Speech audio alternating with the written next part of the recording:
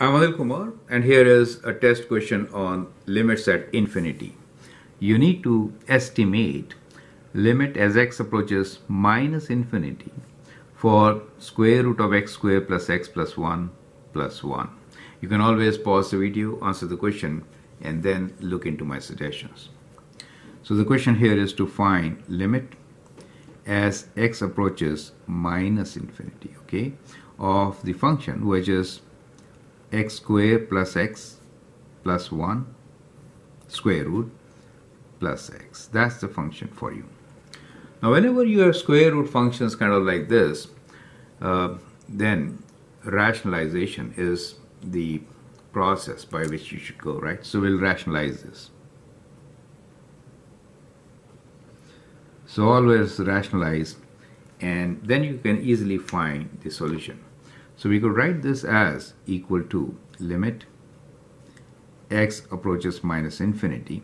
So the function is uh, square root of x square plus x plus 1 square root plus x. Rationalize means we'll multiply and divide by its conjugate, which is square root of x square plus x plus 1 minus x divided by square root of x square plus x plus 1 minus x. You get it.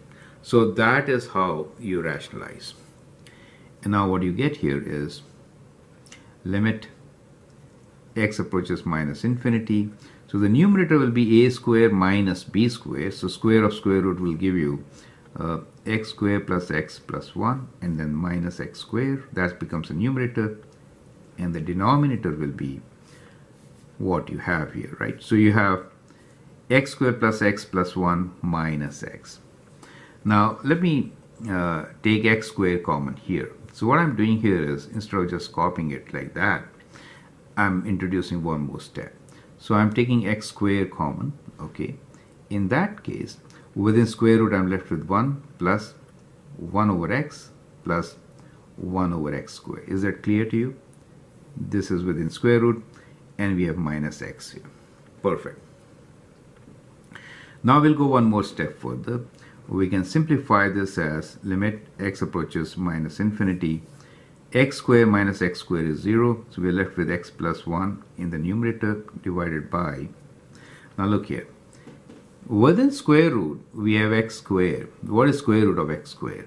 It is absolute value of x, not just x. Remember this part, you could make this mistake, right? So, and then within square root, we are left with 1 plus 1 over x plus 1 over x square minus x. Perfect.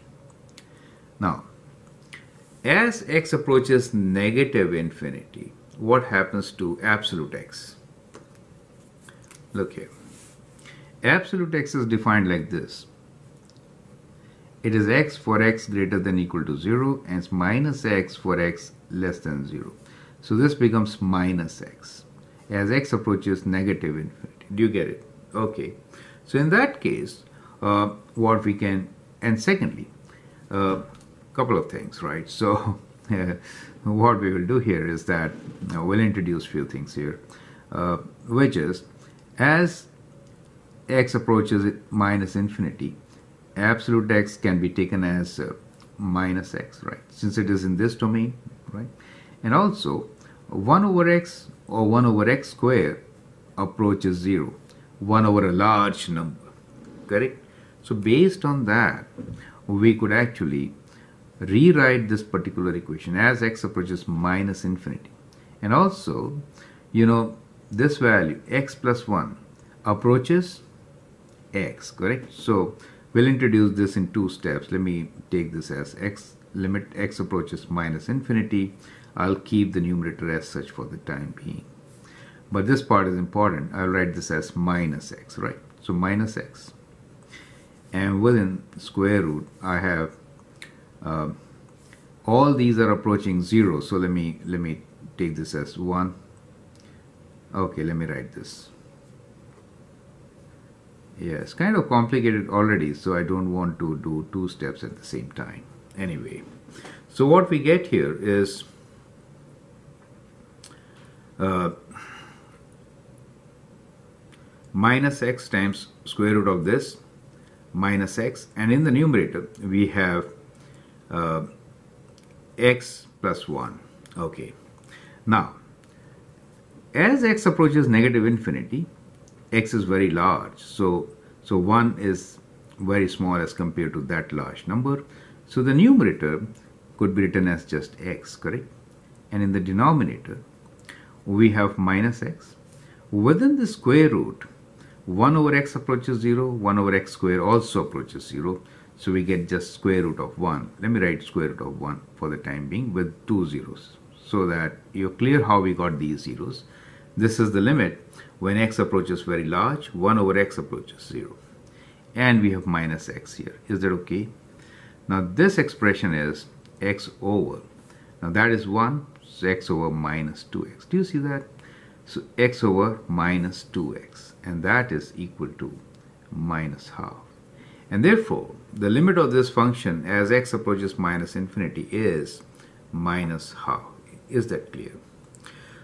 I'm Anil Kumar. I'd like you to go through this video, understand what we did in each step. That'd be good for you. You can always share and subscribe to my videos. If you like, you can put some likes also. Thank you and all the best.